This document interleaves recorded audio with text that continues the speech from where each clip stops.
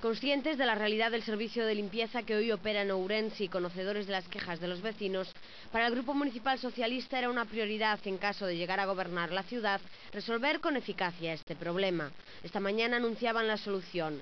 En abril podría estar funcionando ya un nuevo servicio de calidad para todos, con políticas de responsabilidad ambiental, pensado con previsión de cara a los próximos 12 años y con intención de hacer de Ourense una ciudad limpia.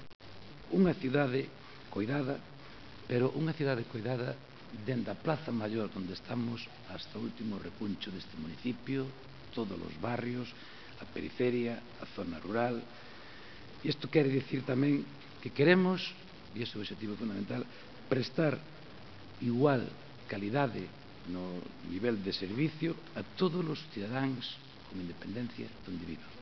Para el alcalde la limpieza de la ciudad no tiene el nivel adecuado, es un servicio que se ha quedado obsoleto y que por lo tanto no puede dar respuesta a las necesidades de los ciudadanos. A limpeza na cidade non ten ahora mesmo desde o noso punto de vista tamén, a parte dos cidadáns non ten un nivel, como dicía, adecuado. E incluso, mm, eu me atrevería a decir que en algunhas zonas, especialmente as máis periféricas eh, dos barrios, do rural, que algunhas estaban francamente descuidadas.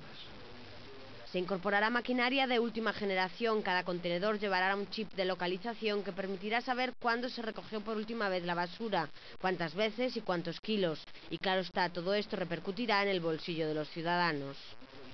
A repercusión vamos a tratar de que sea a mínima.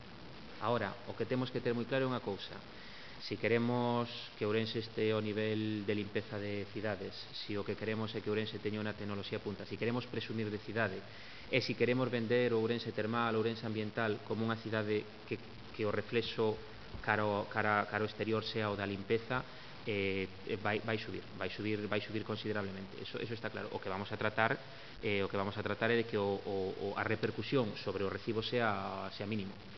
Por su parte, el portavoz del Grupo Municipal del Partido Popular, Enrique Novoa, calificó de antidemocrático al alcalde por no haberles informado sobre el nuevo pliego.